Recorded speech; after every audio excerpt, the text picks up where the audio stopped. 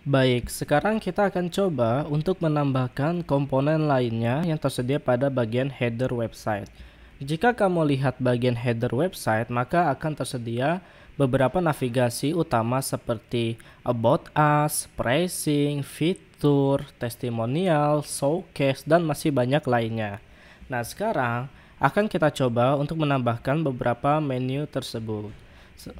Oke, jadi sekarang kita pilih header website. Lalu kita cari bagian text link atau link text. Oke. Nah, di sini saya akan beri uh, sebuah kelas ya. Jadi kelasnya itu misalnya di sini item menu uh, nav. Oke, navigation ya. Nah, setelah itu saya akan merubah warnanya terlebih dahulu menjadi warna putih.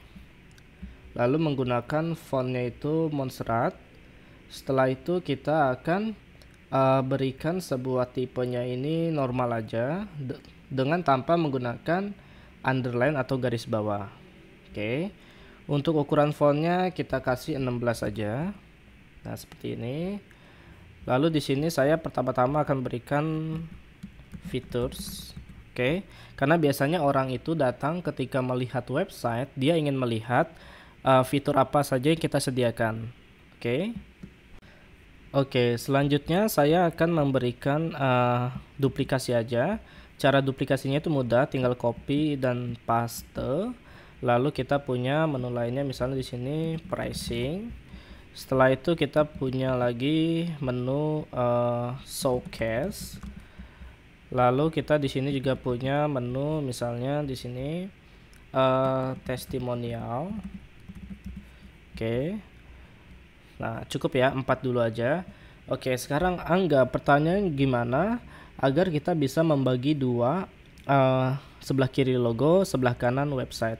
Jadi uh, pada bagian header website di sini kan kita menggunakan justify-nya itu sebelah kiri ya. Jadi sebenarnya ketika kita menggunakan flexbox kita juga bisa mengaturnya rata tengah, rata kanan bahkan adil. Ini adil ya, maksudnya itu uh, pembagian jaraknya itu sangat adil berdasarkan dari space yang kita miliki. Oke, seperti ini ya. Wow, keren ya. Nah, sekarang kita sudah memiliki logo, kita sudah memiliki beberapa menu.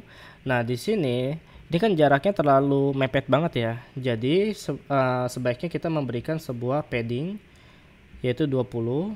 Lalu padding kanannya juga kita kasih 20. Maka jaraknya tidak akan mepet. Oke. Nah, kalau di mobil ini kan tidak muat ya. Nanti kita akan akalin juga dengan cara yang berbeda. Oke.